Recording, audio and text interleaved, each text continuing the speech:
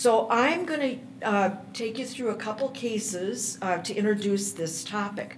And, and I, I've already kind of given you a background of the innervation and uh, the anatomy. I'm going to take a, a patient right out of our clinic. I, I see this all the time. 32 year old woman comes to the ophthalmologist for eye pain, saying, What's wrong? Something's wrong in my eye. She has a history of migraine that used to be episodic, meaning less than 15 days a month, and is now chronic, meaning more than 15 days a month. And, uh, and her eye exam is normal, except you notice that she has a reduced tear lake, and you smartly do a Schirmer's test, and you find out it's only four millimeters. And could these be related? And if so, how? Now, you, this cartoon that comes out of Pflugfelder's uh, uh, article several years ago, I think it's just a, a reiteration of everything that I just was talking about. That, of course, the eye is innervated by the trigeminal system, and of course, it has reciprocal innervation with the autonomic system, and that when the trigeminal system is stimulated, the autonomic system kicks in and is supposed to make more tears, et cetera, et cetera. But obviously, this little uh, trigeminal nucleus is not sitting in a vacuum. It's connected to that trigeminal nucleus caudalis and, and all of the um, uh, central brainstem components that I, I talked about earlier. So um, I'm going to tell you about how tear film dysfunction may contribute to migraine, and I'm also going to suggest that some of the symptoms of dry eye really may be a migraine or peripheral nerve symptom. And those of you who see a lot of dry eye and you test them and they, it, uh, they test like they've got fine aqueous tear film production are going to be surprised uh, that, you know, maybe migraine uh, may be playing a role in this. Well, the first uh, clue to dry eyes and migraine having some connection is in Sjogren's syndrome.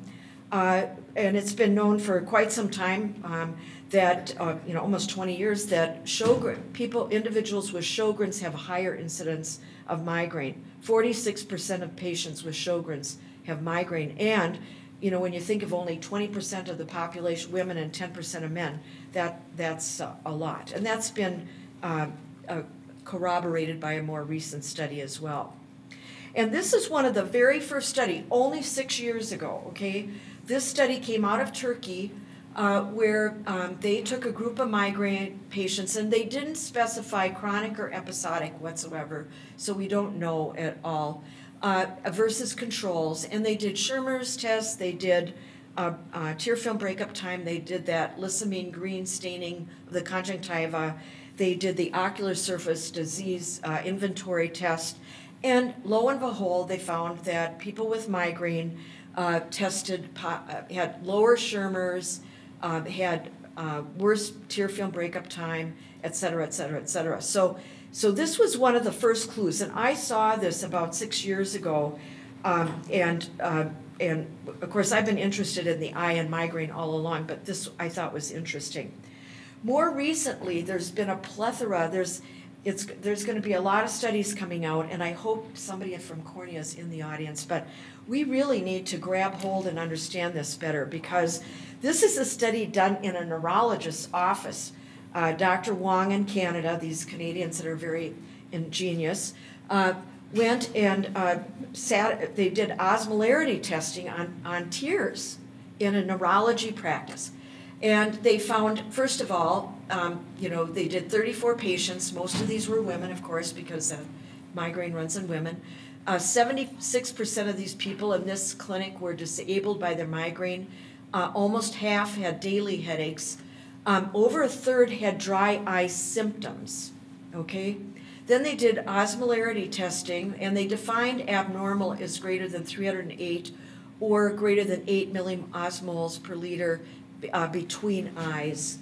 And by that testing, they found almost half had abnormal osmolarity testing versus about 20% in the general population.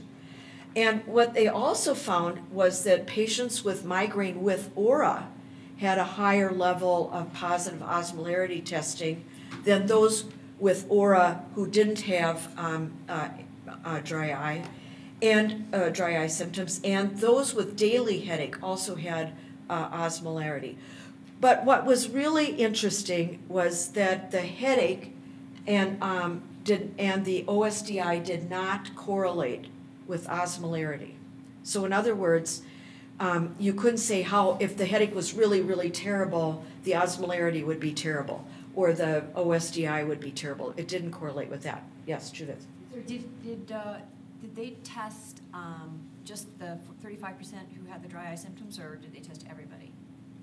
They tested, so in this study, the question was, did they test just the people with dry eye symptoms? They took thirty-four patients, and, um, and these were people who were, you were excluded from this study if you had a known dry eye or you were told you had dry eye or anything like that. You're just in a neurology headache practice. So uh, they didn't uh, sort of stratify that way. Kathleen? Yeah. So the ocular surface disease inventory is interesting because eight, eight of the twelve questions are totally non-specific to dry eye. I mean, the- I mean, I, I, so painful, sore, blurred, poor vision, difficulty reading, difficulty driving at night, difficulty with computer work, difficulty watching TV. And there's only really four that are more really dry eye specific, so gritty, you know, painful eyes in windy situations, dry areas, or air conditioning. And so I guess it doesn't surprise me in a sense that it didn't correlate, the, the severity of the headache didn't correlate with, I should say, it does surprise me a little bit it didn't correlate because I, I think most people with migraine, just because of the eight non-specific questions, would have a high OSDI score. Good point. That's a good point. But I, I can just tell you that, that it's not just the OSDI score, it's the DEQ five Right. and a- all of these scores are uh, definitely elevated. Um, here's another study that came out looking at wavefront analysis on the cornea. Uh, and uh, in this study done by Shetty in Boston, um, uh, these were all individuals with no aqueous tear film deficiency. And, um, and then he studied, uh, and this didn't show up as well as it did on my computer. Uh, he studied patients with migraine, which is 60, controls, which was 80, and he found that uh, aberrations in the patients with migraine, and these were chronic migraine patients, were higher than those with control. So there's something going on here uh, that that uh, I think is interesting. So these dry eye symptoms are not, not rare. You see these symptoms in your practice every single day. Uh, and 20 to 30 percent of patients, and maybe even higher in Utah, over 45 can have symptoms, but they don't always have low aqueous tear film production. And uh, there have been some very interesting studies that have come. One study came out of the VA population, and this Vehof study came out of a group of a study on women in dry eye symptoms. And they looked at concordance, meaning that they looked dry and they were dry, and then uh, people who who said they were dry but they didn't look dry at all or didn't test dry.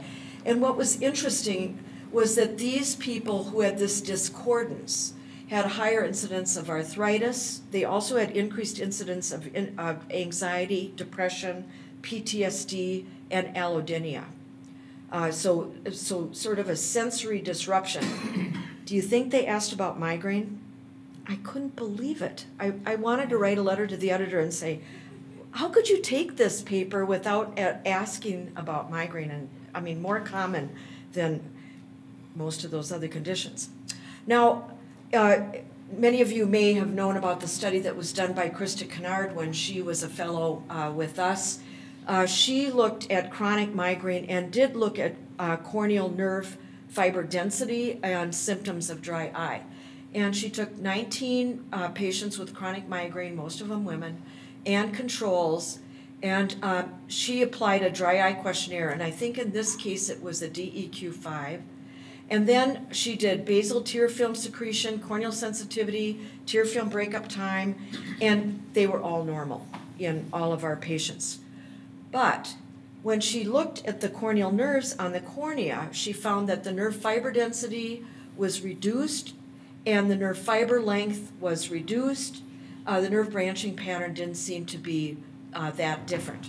And so we published this, um, let's see, when was that? Uh, in 2015.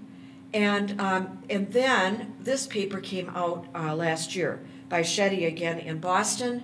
And what they did was they looked at the same structural changes in the cornea in migraine, patients with migraine, chronic migraine, and photophobia, and chronic migraine without photophobia and sex match controls. They measured all those subbasal nerve plexus changes in chronic migraine and looked for structural changes with and without pho- photophobia and controls. And what they found was that um, the people with migraine and photophobia in general um, were the ones that seemed to have the biggest changes in their corneal nerve density. So the branching was different, their fiber length was just different, their area was different, and so forth. So, um, so this is an area that really I think has, I mean, this, those are the studies that are basically out there um, on, on those corneal nerve anatomy and uh, looking at migraine.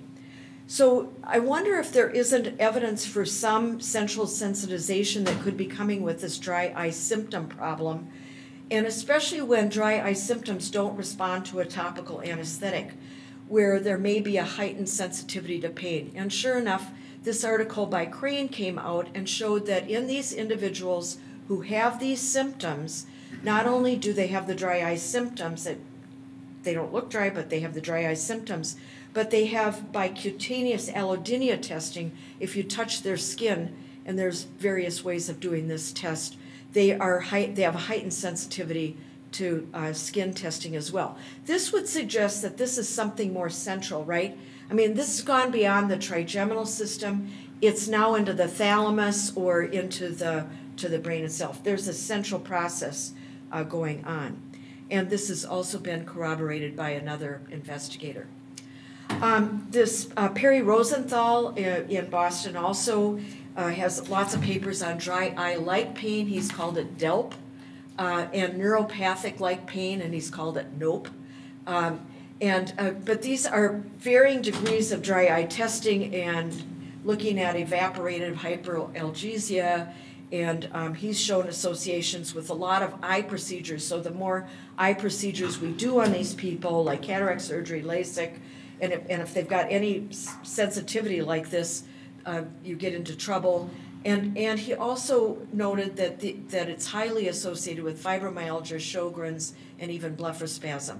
And he also feels like this is pro- there's probably a peripheral sensitization that takes place, and then that is followed um, uh, with a trigeminal me- mediation into a central sensitization uh, to a brain problem. Uh, and I thought this article was really interesting that came out saying, well, okay, so how, what am I going to do in my office about these people who've got this neuropathic eye pain complaint? And so they recommended first determining whether it's peripheral, you know, by putting a drop of anesthetic in. And if it is, goes away with that, then really work on ocular surface treatment. Uh, and if it's not uh, peripheral in, in that it's it seems to be more centralized pain. they say send them to a neurologist, but you, you don't have to do that. You can you can try a few things yourself. Uh, they recommended tricycle low doses of tricyclics or something like gabapentin, and then many of these are mixed, meaning there's both a peripheral and a central component. And then they recommend lifestyle and complementary therapy. I, I would I would say that in all our migraine patients and patients that have chronic pain, we should be uh, working on lifestyle, sleep, uh, and, and so on. So I, I think the dry eye and corneal findings are really interesting. I don't think we've got the whole story yet. We don't really understand. Is it the migraine process that's participating in changing the cornea? Or is or mediators? Remember the trigeminal nerve releases CGRP um, uh, into the cornea, and there's substance P and all kinds of uh, metalloproteases that are present in, in the cornea, but also that's the same stuff that comes out into the dura, by the way. Um, could we somehow study that?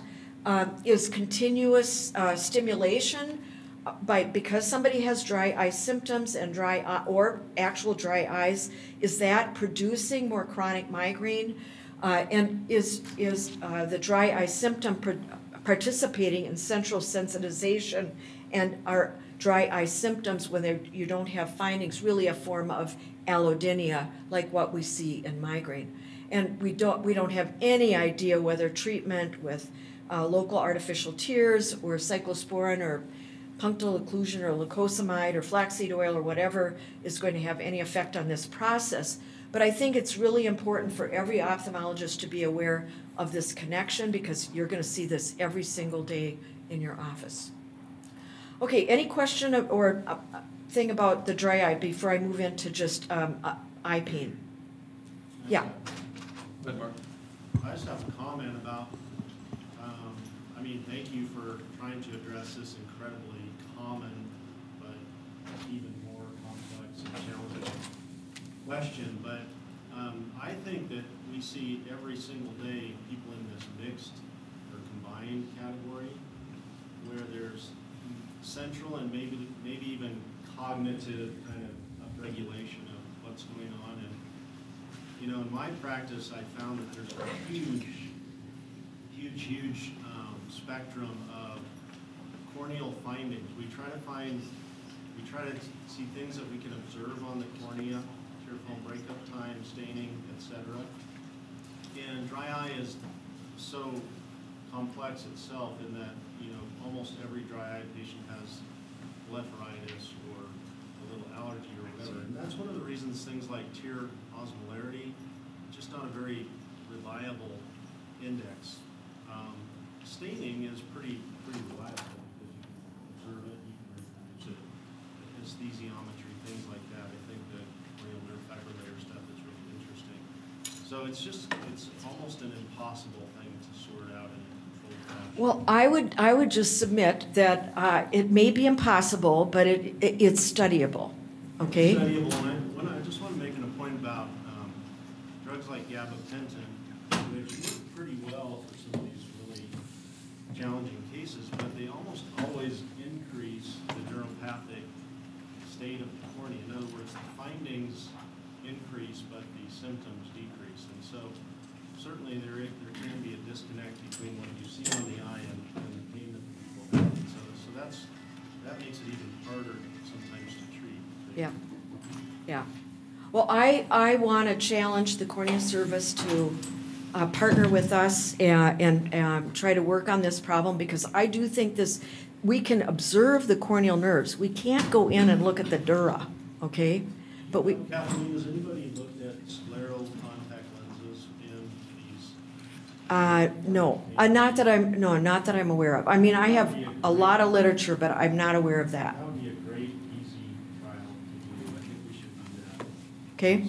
Put scleral lenses on. All right, well, let's. I'll talk to Dick's Petty. Okay, all right, well, I, I'd love to partner on it, because I, I do think that this is something that's overlooked by the migraine community, but it's certainly overlooked by ophthalmology as well. I mean, yes, Randy? So, I, I mean, I think Mark's pretty well covered the key issues, but I, I think sadly, dry eye syndrome is a, is a garbage basket term for at least several different conditions that, that, uh, you know, we, people have dry eye type symptoms, we look at them, uh, and, and, and there are those who, who certainly, this, this is more of a, of a dysregulation, as you're talking about, the the allodynia. Yeah, some of those, it's clearly, they're just, pure dry eye, and uh, uh, that's part of the reason why all of these things, again, as Mark said, is, can be extremely difficult. But whenever you have people with severe dry eye and you uh, give them topical anesthesia and it hasn't helped their symptoms any, you know, that's immediately some, hmm, there's something going on here that's way. And, and then you'll have those in whom you'll work hard, the cornea's looking better, and their symptoms are absolutely no better. But you- and and I get others in which, uh, as, as Mark has also talked about, that uh, um, frankly, have pretty bad symptoms and they're perfectly fine. If you look at them, and say, no, that doesn't bother me, I'm fine. But you see, I, I maintain that we should be looking at the kind of person that gets these symptoms, because i- if you're predisposed to migraine, you're predisposed to sensory dysregulation in your brain. Okay, sounds are louder, touch is stronger. Uh, it's, it's, you're dysregulated by your sensory system. It's a sensory system processing disorder. And so I think that we should be thinking about disorders that have sensory processing, and migraine is so common, it's, it's a simple thing to even ask about in your clinic. Um, and, and these people with this dissociation, as I showed before, you know, they have pain problems, they have fibromyalgia, they have um, arthritis, they have, you know, all kinds of other things going on that are part of this sensory processing uh, disorder. So I just want to bring to your attention that this is a common problem. If your patient has migraine, you should pay attention because that may help you understand better the way their brain is working, the way they're processing uh, pain better. And it, we don't know if some of these newer migraine treatments that we've got now, like the CGRP antibodies, are going to be helpful in people who've got these dry eye pain problems because maybe this will be helpful to them. I don't know. It, just like gabapentin, we use a lot of gabapentin in headache and chronic pain, and I know in corneal pains. Uh, but it, it, but it's something that we should be at least aware of as in ophthalmology. Can I just make one more comment about the sensory processing thing, but also I think emotional processing, like the anxiety part component of this. We, we know that there are people who just power through their somatic symptoms no matter where they are. There's something about if it's in your head or your eye or your brain, it's way worse. Absolutely. So I want to just mention about what Mark just said about emotional processing. So, guess what happens when, and, and I'm not going to talk about photophobia today, but I think it's very analogous, okay? Uh, guess what happens when you have chronic discomfort? Well, you, and this has happened in laboratory animals. So they took laboratory animals uh, that, mice that are blind at birth, and then they just shine light on them, and these little mice squeak and, and, you know, make noises like they're being taken away from their mother, okay? So it's a stressful event.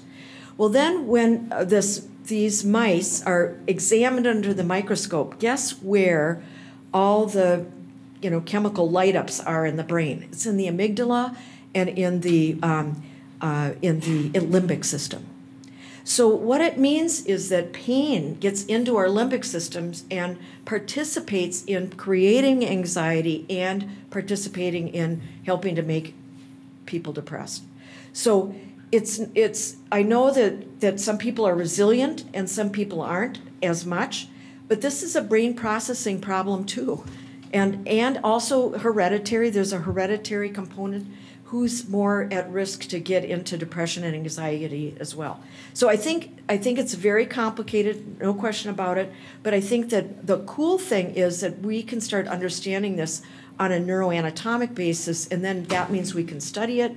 It means we can have hypotheses. It means that we can uh, think about ways that we might actually uh, start to understand and treat it.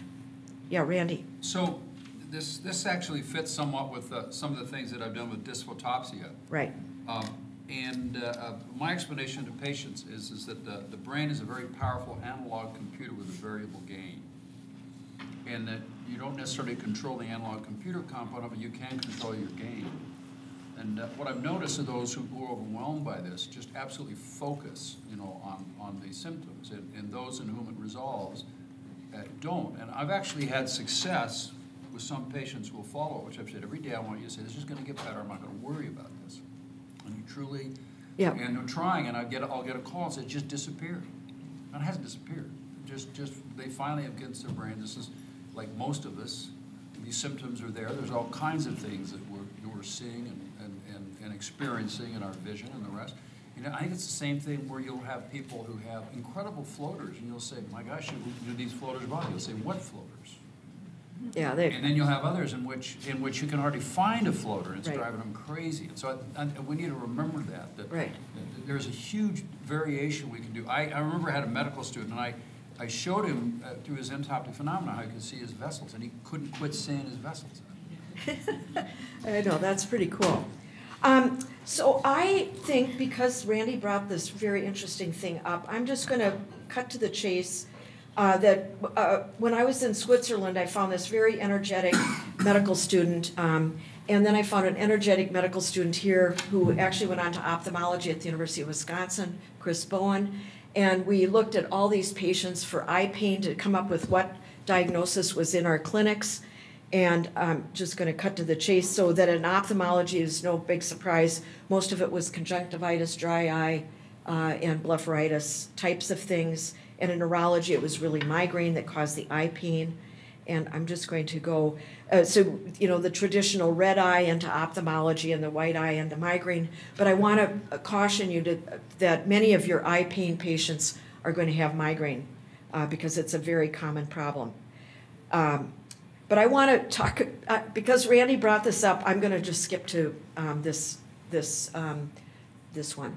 And that, this is, you know, if I said that the visual quality of life in, in migraine and chronic migraine is reduced, and we talked about, you know, the pain problems and all this kind of stuff, why else could it be reduced? Well, migraine has a lot of visual symptoms, and we're all familiar with visual aura, and I'm going to talk a little bit about aura and how to distinguish it from persistent aura. But all these people with migraine often have, uh, because it's a sensory processing disorder, have stripe induced discomfort. Many of them also have photophobia. They all have photophobia when they have a migraine, but in between, many of them have photophobia. And then there's this entity called visual snow. And this was a patient that got sent to me for treatment of prolonged aura. So um, it was a 17 year old guy who has a family history of migraine. He had his first headache at age six, he had his first migraine in eighth grade. Um, and then a few months later, he developed migraine with aura, and it was a blank spot in the center of his vision with flashing lights that progressed out into the periphery for 20 minutes. Then he got a six, uh, very severe headache lasting nine hours, and now he has a migraine with aura about once a year, uh, and and he tried treated with uh, sumatriptan, which caused chest tightness, so he quit that. And um, and the question was, uh, you know, he had this migraine prolonged aura. So I said, well, what are your symptoms? He says, well, I see silvery lines that are always present if I concentrate on them. I see floaty, squiggly lines when I look at the sky or snow. And as long as I can remember, my, my vision looks a little pixelated or grainy. And, um, and the symptoms were not associated with a headache. He sees through the visual phenomenon. And, uh, and his past medical history was negative. He's on vitamins. And he's a good student. He, and, it, and of course, he said, and it doesn't interfere with my driving at all. Uh, I want you to know that. So, because his mom was going, should he be driving? And uh, so he had good acuity. His fields were normal. His disc was normal. He, had a normal neuro exam. And he'd had an MRI scan. It was normal. His depression scale was minor, minor. He had no anxiety uh, with the GAD-7. And so, you know, the differential diagnosis was, is this migraine with aura? Is this persistent aura without infarction? Is this migraine aura status or is this visual snow? So I wanted to go through these different types of visual symptoms because I think this is confusing to a lot of ophthalmologists. One, typical aura. And uh, typical aura is a neurologic process. It's dynamic, meaning it changes. The visual symptom starts gradually and it develops and gets bigger and bigger over a period of time, usually less than an hour. It may or may not be followed by a headache. And, um, and it usually is the result of cortical spreading depression in the visual cortex. Now, there is, these are definitions that are in, if you ever have trouble sleeping, just get the International Classification of Headache Disorders. It's about this thick, it's like the DSM 6. You know, it just gives you every single kind of headache disorder you could think of. Anyway, prolonged aura is an aura that lasts more than 60 minutes, but less than four hours. Okay? and, and that's uh, a prolonged aura. A persistent aura without infarction is a typical aura, meaning it starts out and but it lasts for longer than a week, and you've done neuroimaging and there's no stroke. And then there's a thing called migraine aura status, but this is a typical aura in a patient with migraine with aura that has at least two aura episodes a day for at least three days in a row it's kind of like having status epilepticus, you know, it, it's happening frequently. That's migraine aura status. So these are the kinds of, auras. So blurred vision isn't an aura, okay? And a spot in the vision, uh, it may not be an aura. It depends on the tempo of it and, and what happens during it. Now, Visual snow, of the proposed criteria, I um, worked with Chris Schankin and Peter Goadsby on this uh, paper. Uh, uh, Visual snow is dynamic, continuous, tiny dots in the visual field for three months. But you have to have a couple other symptoms, and we, this study was done kind of by a crowdsourcing almost technique of getting all the people with visual snow to, uh, and then studying them in San Francisco. Um, uh, palinopsia, or which is either a persistent image when you look at something and look away, you still see it, or trailing images when you see something move and you see a trailer go behind it.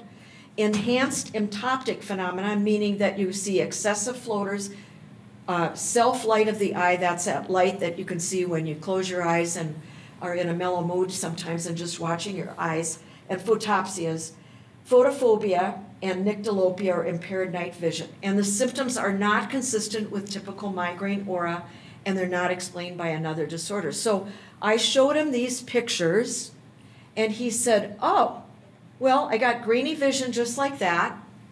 I see floaters in the sky just like that, and this one you can see are little itty bitty teeny weeny dots that are just sitting there.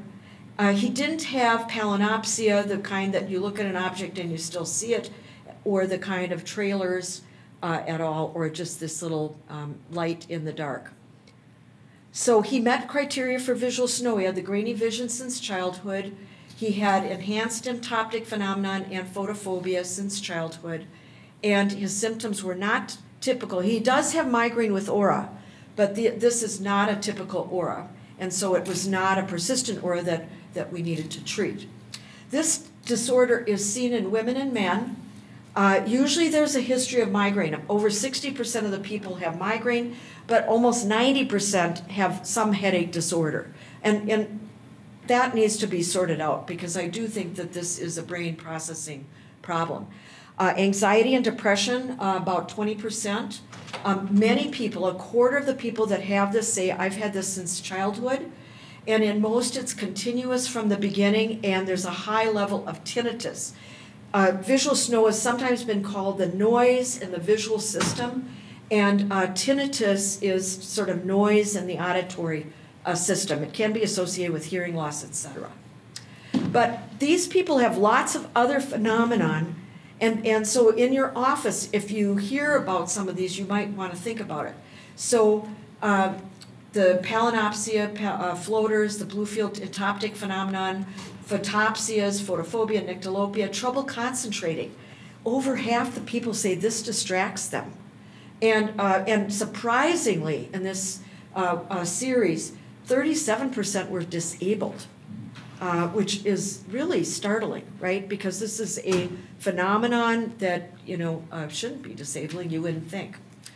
Uh, there is, of course, and this is a brain problem. Um, so there's been shown to be hypermetabolism in the right lingual gyrus and the supplementary visual cortex, as well as in the cerebellum. Uh, I keep asking all our visual snow people, why do you think the cerebellum? But I'm not quite sure about that one. And they've also seen um, a thalamic cortical dysrhythmia, so kind of brainwave uh, abnormalities uh, and a funny and a, a dysfunctional neuronal excitability uh, as well has been seen. And, uh, and, and, and this, I think, is important. It probably is an impaired habituation response, uh, is the best way to explain it. And then there have been studies that have shown um, hyperexcitability in the primary visual cortex. So this is where the, the thought is that this is what's going on. And this visual snow is something that um, uh, you, you've got to make the correct diagnosis. You can't just, you know, you have to think about this. In our clinic in neuro-ophthalmology, we see people who have these really weird visual symptoms all the time. And the things I, the one thing that I do worry about a lot is retinopathy because it can look just like a retinopathy early on. You may not see anything in the retina, but it could. It, and we have seen a few of these people who've got some visual uh, visual snow turn out to have anti-retinal antibodies. So I don't, or anti-glycine antibodies that are present in the retina. So we we we do need to keep thinking about this problem, uh, but many of most of these are not uh, something like that. It's most of them are visual snow. Um, you can treat the underlying migraine. We gave this guy almotriptan, which is a different triptan and he didn't have any side effects from it. Uh, medications don't work for this. Um, the best medicine has been lamotrigine, but lamotrigine is also used for anxiety and depression and uh, and it's an anticonvulsant. It may be helpful. It's the only one that we, there's had some success with it. Nortriptyline, carbamazepine, sertraline, which is Zoloft, has been used. We've had some luck using the FL41 tint or blue yellow spectrum filters. Uh, for some of the people, it seems to dampen uh, their sensitivity a little bit so that they can ignore it a little bit better. So I hope I've convinced you that um, migraine is intimately and integrally uh, related to the eye and, uh, and to vision, and that we really have to be looking at this dry eye um, story because I think that there may be some uh, important things that we could do to improve migraine, but also maybe um, help our headache colleagues understand about pathophysiology of what's happening peripherally. Um, eye pain is in your clinic. Most of the time, you're going to see it. If you don't see it, be thinking about migraine and be thinking about cluster and be thinking about optic neuritis uh, and uh, um, if, if, if you don't see a red eye. And then I think this visual snow is more common than pre- previously really re- recognized because a lot of people have it. At Nanos, uh, we asked people to raise their hand if they have visual snow. And I mean, about a quarter to a third of the population raised their hand. So neuro-ophthalmologists have, uh, have a little visual snow. And I think this also means that we have to address that visual quality of life because uh, visual quality of life is just as bad as people with Graves' disease, IIH, and optic neuritis. And it would just uh, tells us that this is something worthy of our attention and um, our, uh, our study. Uh, in the NOVEL library, um, if you need a handout for your patients, uh, you can go to the patient portal and get a handout on migraine. And it's in about uh, 15 to 20 languages uh, so that you can hand out a, a thing about migraine. And I want to thank, I didn't do uh, any of the work that I talked about here was ne- never done solely by me, believe me. Uh, but I want to thank all the stu- the army of students that uh, we've had the pleasure to work with over the years. Our fellows have been amazing, and I can't ask for better colleagues than I've had at the University of Utah, University of Zurich, and um, and I and Rami Burstein in Boston listened to me about photophobia and then went to the lab and figured out a whole bunch. And then Peter Goadsby um, and I have been collaborating on visual snow. So with that, um, I think I've got a couple more minutes. Um, I've got five minutes for questions. Yes, Randy. So, hard to keep me from asking questions, but anyway, uh, so these are very, very common, as you know. And so uh, if, if we have patients with dry who also have migraine symptoms, which I agree, there's, there's a fair amount of correlation. I mean, do you, do you want to see these in headache clinic if they're not, I mean, I'm just telling you, if, if- I mean, if you guys, you're already hard to get into the headache clinic, and these people, and these people uh, come through very, very commonly. But I, I would Um, just say an ophthalmologist, if they aren't comfortable, you know, starting something for somebody with migraine, send them to a neurologist. They've at least been trained in headache, and their primary care should be able to do it too. But you could partner and say, you know, I'm worried that this dry eye problem is worsening their migraines. I'll work on the dry eyes. How about if you guys really work on the migraine symptoms and get because I think if you get the migraine under control, the dry eye symptoms might be a little bit better too. Especially in my uh, practice, uh, I see if I can do both and kind of get them kind of working together, then they may do a little bit better. And especially these chronic migraines. These are people that have migraine more than 15 days. Well, often as you control the migraine, uh, really a lot of their symptoms with their dry eye go away, even though, as Mark said, the actual clinical signs are getting worse. Yeah, So that, that keep, makes it very interesting. yeah, it is. Yes. Right. So, would you say something about hormonal regulation? I have a patient who had chronic migraine, she got pregnant, no migraines, two months after, two weeks after delivery, your migraines come back. That's unfortunately the true story. Uh, so uh, Bryce has a patient with migraines with pregnancy, got completely went away, and then uh, and then uh, two weeks after being pregnant, they got their migraines back. That that story is textbook. Um, Hormones do play a role in migraine, there's no question about it. It's usually the falling estrogen that seems to be the, the trigger for migraine. It's falling estrogen, and so after pregnancy, which is a very high estrogen state, the falling estrogen, they can go right back into migraine. And it, interestingly, uh, during pregnancy, people are almost immune to migraine. I've got some patients who've got like seven or eight kids because they felt, they felt so good when they were pregnant that they decided that's what they were gonna do. So, so, um, I guess you don't. if you want a lot of kids, marry somebody with migraine. No. But you wouldn't treat with hormones. I mean, there's so Uh, people have done that, uh, and there's, there's some literature to suggest hormonal manipulation. Uh, but in my experience, the problem is, you know, there's a week before a period, there's a week of the period, a week after. That's three out of four weeks with ovulation going on in between there. It's so complicated that to, to mess with hormones, you, you end up in a, a mess. It- There are a few people who really do respond to hormonal therapy and steadying state things out. And these are people who truly have like menstrual migraine, uh, eh, but that's not very common, I have to say. Most people have more than just the headache at- around the time of menses. And it's a pretty massive dose as well to try to duplicate pregnancy. Uh, no, you don't try to do pregnancy. You just try to get to a steady state. You don't try to get that high. That, that would cause more trouble. So, no, uh, we, we, uh, low dose, especially in migraine. Um, uh, oral contraceptives that are high dose are contraindicated, especially in migraine with aura. And, um, there's even controversy about anybody with migraine taking oral contraceptives. So, so that, that we don't like to do, but, uh, low dose, steady state sometimes has, uh, been studied and does work for some people. Not everybody. All right, um, and I even finished on time, so. Thank very you. good.